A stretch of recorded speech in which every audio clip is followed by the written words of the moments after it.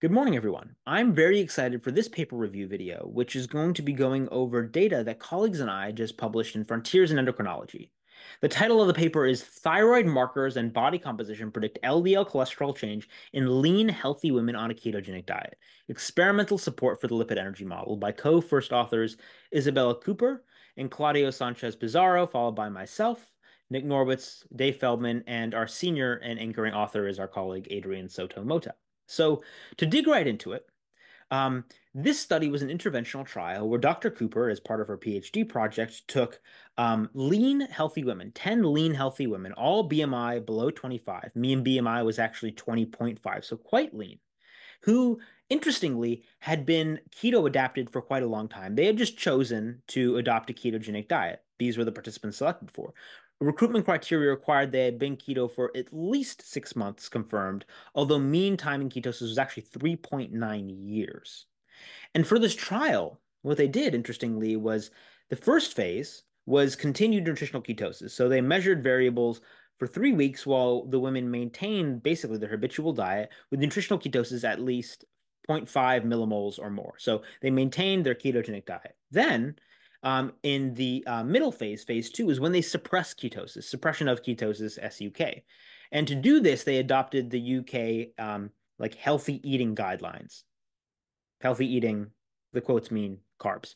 Um, basically, the women started eating more carbs. About 55% of kilocalories from carbs were the instructions to suppress ketosis, which was confirmed as um, ketone levels below 0.3 millimoles. Now, I will say that throughout the trial, the women were incredibly rigorous in their adherence to the protocol. And um, all women maintained nutritional ketosis during the nutritional ketosis phase, suppressed it during the suppression of ketosis phase. And then phase three was to go back to their habitual um, ketogenic diet. So then they came back into nutritional ketosis. So phase one, keto diet. Phase two, you suppress ketosis with carbs. Phase three, you go back into nutritional ketosis. And throughout these phases, you can measure changes in hormones and other variables to see, you know, what is changing in these keto adapted people as you add back carbs and then remove the carbs again. And the focus of this particular paper, while there will be many coming out of this trial, was changes in um, cholesterol, specifically LDL cholesterol, and what predicts those changes. The emphasis being body mass index and um, thyroid hormone. So to focus on the former, um, body mass index, we've shown in prior trials, particularly a um, cohort study, that there's an inverse association between BMI, body body mass index, and LDL cholesterol change, such that leaner people tend to have higher LDL while on keto. Um, and larger increases in an LDL when going keto. Now, a converse of this would be that when you add back carbs to people who are lean and on keto with elevated LDL, those people should also see the biggest drops because they're presumably the ones who had the biggest increases to begin with.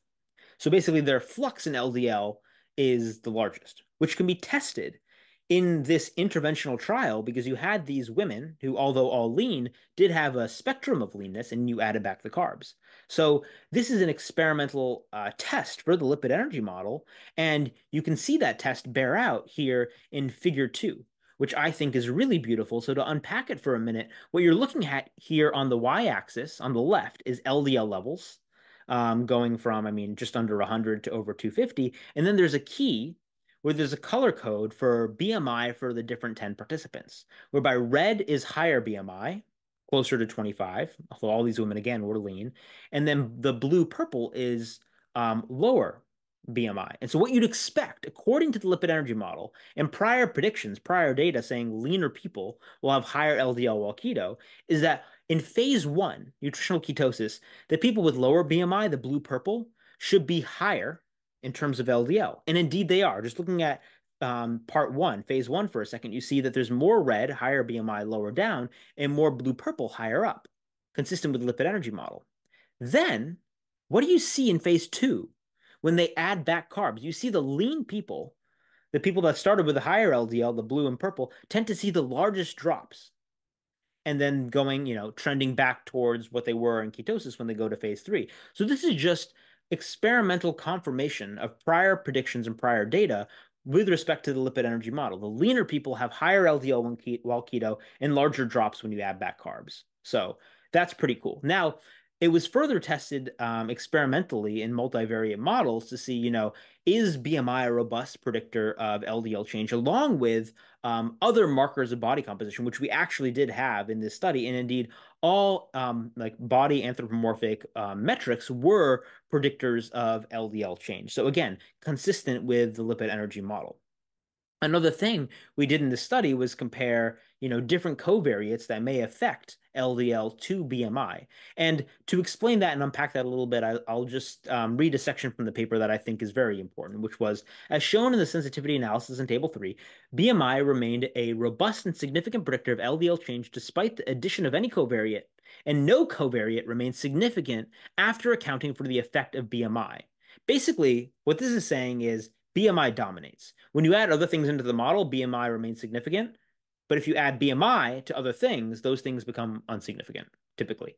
So BMI is the dominant variable in determining LDL change. Then Dr. Soto Mota did something really brilliant, which is uh, a curious analysis where he modeled, well, what if these women, say, were consuming basically most of their calories, almost all their calories from saturated fat, which would be really hard to do in the real world, but he modeled it such that if saturated fat intake was as high as 90% of total energy, so that would be eating a four to one therapeutic ketogenic diet where every single calorie from saturated fat or from fat was saturated fat. So you would have to be like guzzling coconut oil and then eating a little bit of pure protein basically to achieve this. This would be basically physiologically impossible. But even if that were the case, saturated fat intake as high as 90% of total energy intake if that were the case, BMI would still remain a significant and virtually unchanged predictor of LDL. So, bottom line takeaway point here is that BMI dominates over saturated fat. Now, um, I'm just going to put a pin in this one because I will tease we have even more robust data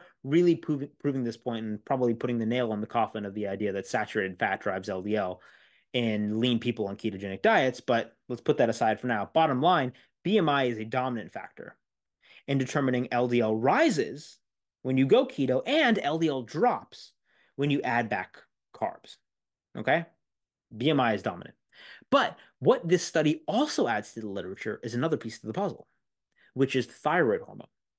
So the lipid energy model has to do with how the body responds to carbohydrate restriction in lean people, typically, um, to you know meet energy demand. It's all about energy, and thyroid hormone is a major determinant of energy flux throughout the body.